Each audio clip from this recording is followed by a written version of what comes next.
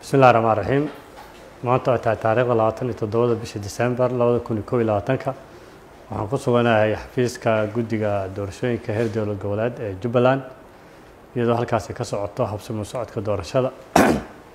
Oo maalmahan aan ku soo jirnay broseska doorashada saa la socotaan dee doorashadii loogu talagalay soomaaliya isteedii ka socoto way socotaa waxaan u tartamayaa kursiga laba boqol toban iyo toddobo oo aan hore ugu fadhiyey.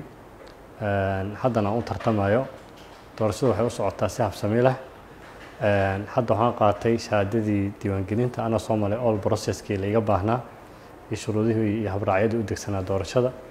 Waxaa ka horreeyey in doorashada ujiyadeedii la soo maray in odayaashii dhaqanka iyo civil society-gii kursiga two seventeen ee la isku waafaqsan yahay iyo ergadii boqol iyo kooda ahaa dhammaanteed processkeeda mareen. Kadibna musharaxiinta ay u gudubtay. Musharaxiintiina hadda diiwaangelintooda ay socoto. Marka aada iyo aad ayaan ugu faraxsanahay sida ay guddiga iyo shaqada adag ay hayaan iyo habraacyada iyo processka sida degan ee xasiloon aadka u wanaagsan ay doorashada u socoto. Waxaan rajeynayaa insha allahu inay tahay tallaabo hore loo qaaday.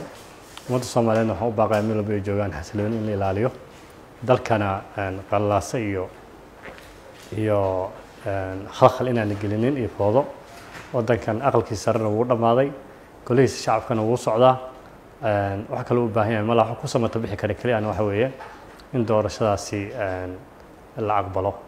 Dadka caqabadaha ku aan ay ka horleexdaan doorashadaas aad iyo aadna u mahadsantihiin guddiga doorashada ee siid iyo guddiga doorashada ee fiid iyo guddiga xalinta khilaafaadka dhammaan ee ka howlgelaya dowlad goboleedka jubbaland shaqo wanaagsan allah idiin fududay mas'uuliyiinta mas'uuliyadda culus waa mahadsantihiin